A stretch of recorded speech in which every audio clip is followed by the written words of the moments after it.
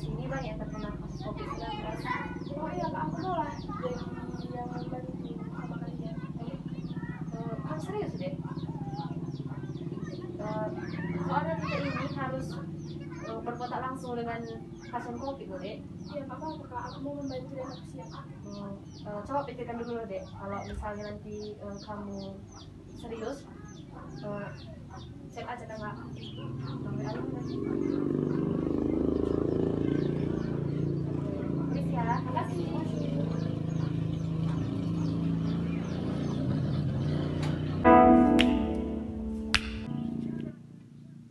Aku bilang lah sama Bang Aris aku udah jadi relawan COVID tadi.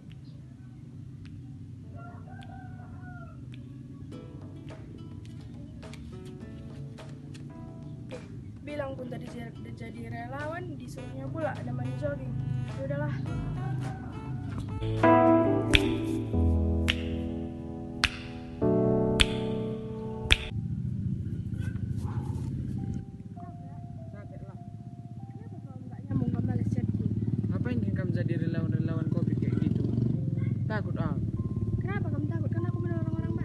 Ya udah sama orang lain aja kamu selagi kita sama. Eh,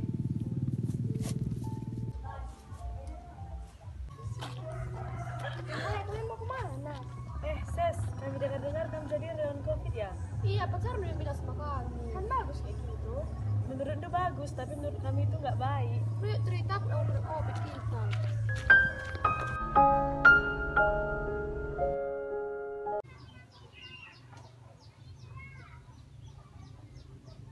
Halo, ini dengan adik yang pengen jadi sukarelawan itu ya?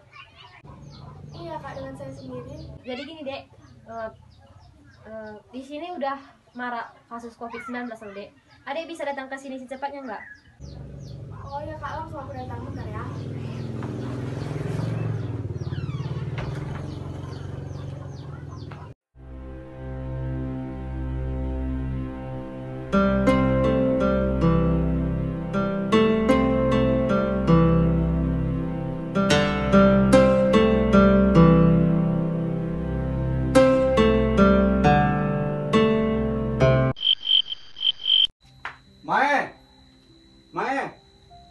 Sini kan dulu. Panggil dulu anak itu tadi. Udah berapa kali ku bilang nggak pernah didengarkan. Sesi. Sesi sini dulu nakku.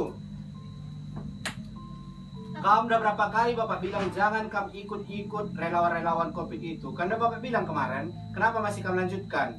Karena bapak bilang sih, kalau bapak ngomong dengarkan aku. Udah berapa kali bapak bilang kita ini keluarga terpandang. Nanti kalau tahu orang, nggak kayak gitu mak nggak nggak bisa lagi didengarkan anak kita ini kita karena bapak bilang kemarin kan sih karena bapak bilang kan Udah pak, tenang. Eh, tadi udah masak mama, udah mandi dulu bapak sih itu makan kita. Aku yang bilang sama saja. udah capek kali bapak kamu buat aku karena sehatilah dulu anak ini mak Sini ambil. Kan kan tahu kan bapak Andi itu kan keras, ya. Jadi kalau apa bilangnya kan dengarkan aja dulu ya anakku.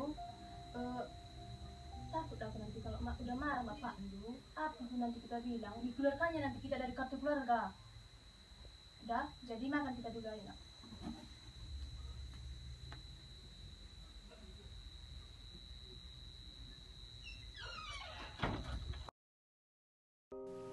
Kebahagiaan setiap orang memang berbeda-beda. Aku sering bingung, kenapa bahagiaku berbeda dengan orang lain, apalagi seusiaku. Di saat teman seusiaku lebih senang nongkrong di luar, aku malah lebih senang untuk membantu orang lain. Meski harus berdebat dengan orang tua, kehilangan pacar dan sahabat, aku rela selama aku masih bisa menolong orang banyak. Setiap malam aku berdoa, aku akan melakukan segalanya untuk membantu sesamaku. Begitu banyak kenangan yang pernah ku alami bersama keluarga, pacar, dan teman-temanku. Semua kenangan itu kugunakan untuk menyemangatiku dalam melakukan semua kegiatanku yang menurutku berguna.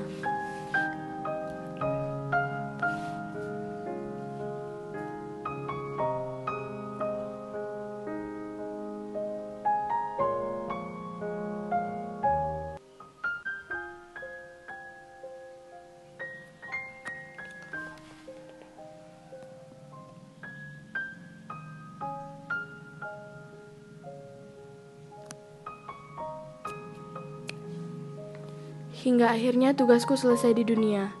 Ya, dan akhirnya memang tugasku selesai. Aku kini melihat semua orang dari dunia yang berbeda. Dan apa yang kulakukan selama ini berguna untuk orang banyak.